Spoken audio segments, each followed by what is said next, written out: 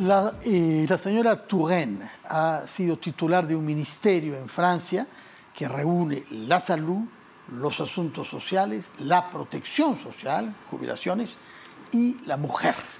Ahora no está en política, está acá como representante de una organización internacional privada de lucha contra enfermedades particularmente infecciosas, con mucho trabajo en el África, pero están presentes en varios países de América Latina y naturalmente quisiéramos que lo estén más en el Perú. Ustedes tienen como particularidad trabajar no con los gobiernos, sino con asociaciones locales. Y como usted sabe, acá en el Perú hace mucha falta porque hemos tenido un COVID, con la más grande mortalidad del mundo. No estoy todavía explicado por qué, pero hemos tenido muy mala gestión del COVID y hay grados de tuberculosis que son chocantes, al mismo tiempo que el SIDA. Díganos, por favor, qué es lo que viene viendo usted de la realidad en el Perú y qué relaciones está tejiendo. Bueno, yo, yo vine hace unos cinco años, unos cinco años a, a Perú para ver cómo funcionaba la cooperación en salud entre Europa, Francia en particular, y eh, Lima y, su país. Y lo que yo había visto era toda una serie de, de, progresos que se habían hecho poco a poco con instituciones francesas, europeas, que ayudaban para la anemia, por ejemplo, o la lucha contra las violencias eh, eh, domésticas. Bueno, volviendo ahora me doy cuenta, pero eso sucede en todas partes del mundo, que los progresos que se habían conseguido desde hace años, poco a poco se han disminuido porque el COVID no solamente mató a gente, no solamente fue una pandemia catastrófica para la gente que cayó enferma, pero para la gente que tenía otras enfermedades. Fue una catástrofe también. El VIH que se estaba, que, el SIDA, que, se estaba, que estaba disminuyendo, de nuevo eh, eh, creció igual para la tuberculosis. Y en Perú lo que se ve es eh, una tasa de tuberculosis altísima. Se ve malaria que es muy importante, notablemente en Loreto, en la región de, de Loreto, y se ven esas enfermedades que pensábamos poder controlar y vemos que necesitamos nuevas acciones y es la razón por qué estoy acá, para ver cómo funcionan los programas, qué se puede hacer, cómo se puede apoyar y por supuesto visitar al gobierno porque eh, necesitamos explicar lo que hacemos, pero mañana voy a visitar a los proyectos con las asociaciones eh, socios en salud, que es el principal partenario que tenemos acá en Perú y a ver cómo funcionan las cosas, cuáles son los progresos, qué se puede hacer para mejorar la situación de salud. Porque para nosotros el tema fundamental, por supuesto, es mejorar la salud de los peruanos, pero al mismo tiempo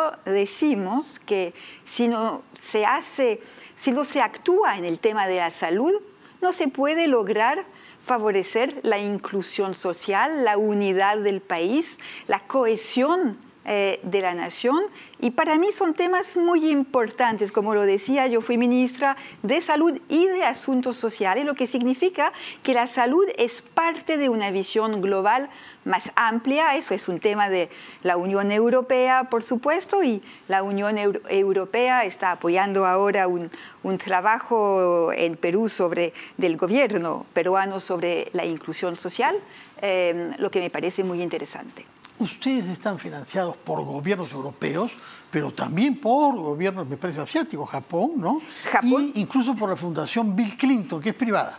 Eh, Bill Gates, que es privada, pero, pero somos eh, también financiados por países latinoamericanos, Brasil y Chile, porque fue una organización eh, que fue creada hace unos 15 años por Francia, Brasil y Chile, o sea, con un enfoque latinoamericano bastante importante y que poco a poco fue creciendo y que tiene casi el mundo entero alrededor de la mesa y estamos financiados por los países, digamos, los más ricos, eh, yo no hablo de Chile y de Brasil, pero que nos apoyan de manera eh, bastante importante, em, y eh, nos apoyan los países ricos para que podamos proponer mm, proyectos de salud a los países, a las poblaciones que más necesitan ser apoyadas. Que las hay, que las hay en varias regiones de nuestro país.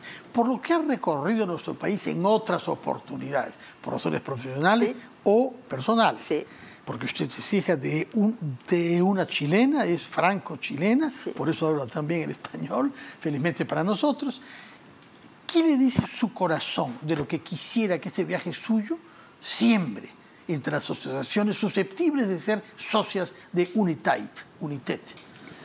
Bueno, mi sueño eh, sería que, que se pudiera invertir en la calidad de vida. O sea, lo que nosotros pensamos es que se trata del bienestar. Eh, lo que queremos es favorecer el bienestar de la población, em, una vida mejor, con más salud, más inclusión, más igualdad. Esos temas son, son, son muy cercanos y para eso necesitamos que alrededor de la mesa haya muchos socios, gobiernos, asociaciones, comunidades. Para nosotros es importantísimo trabajar con las poblaciones. Los gobiernos importan, por supuesto, porque tenemos que hablar con ellos, entender cuáles son sus políticas, cómo ven el futuro de su país, cómo presentan los temas de salud, pero trabajamos para las, para las poblaciones, para la gente. Lo que es importante es que un dólar, un euro que se pone sobre la mesa para la salud llegue en el brazo o en el corazón de la persona que lo necesita. Señora Touraine, ¿qué aprendió Francia y su clase dirigente, de la que usted forma parte, de la pandemia del COVID-19? Aprendió que había personas que estaban, como decimos, en primera línea, trabajando para salvar a los demás, a la población, a los ciudadanos. Y que esas personas de primera línea antes no eran tanta, tanto consideradas, o sea, faltaban como de reconocimiento, faltaban, yo no diría de respeto, pero de reconocimiento. Porque todo se concentra en los grandes hospitales, con los grandes médicos, sí, y, la, eso, y, la gran tecnología, y menos en el centro. En la gente que está, que está en todas partes, pero en, en, los hospitales también, pero en las tiendas, que cuando había la pandemia estaban trabajando, las personas que iban a las casas para apoyarlos y todo. Y entonces esa idea que para enfrentar una pandemia, algo que es un ¿cómo decir? Un terremoto, es un terremoto social, no solamente un terremoto medical o biológico, es un, es un terremoto social.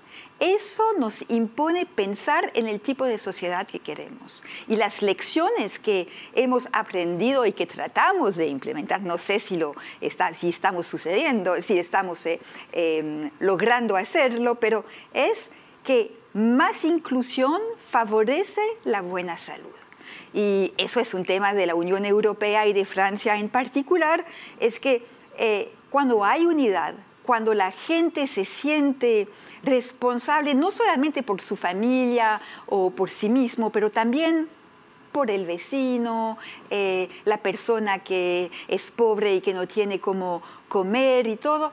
Cuando hay ese tipo de solidaridad, hay más capacidad de responder, más capacidad de actuar. Y eso es algo que yo diría países de, América Latina tendrían que, que, pensar, porque América Latina es un continente fabuloso, eh, tiene una experiencia, una historia, una capacidad eh, inmensa, tiene una capacidad de desarrollo que es absolutamente fabulosa, eh, pero también hay muchas desigualdades. Y las desigualdades eh, no favorecen la calidad de vida, no favorecen la unidad y no favorecen, por supuesto, eh, la inclusión de la sociedad. Señora Tourel, muchísimas gracias y para despedirnos permítame que rinda homenaje a su padre, un gran sociólogo, Alain Touraine, fallecido hace pocos meses, de casi 100 años, que tuvo muchos discípulos en el Perú. Nuestras ciencias sociales le deben mucho a Alain Touraine, que ha estado en el Perú y que hemos recibido aquí en RPP, de manera que hemos pensado mucho en él y en sus descendientes cuando falleció hace pocos meses. Muchas Muchísimas gracias. y sería bueno verla otra vez en RPP antes de que se vaya, para que nos diga qué balance hace de su estadía acá y si hay nuevos socios de Unitaid, United. Ojalá. Ojalá. Muchísimas gracias, Marisol Turén. Muy buenas noches.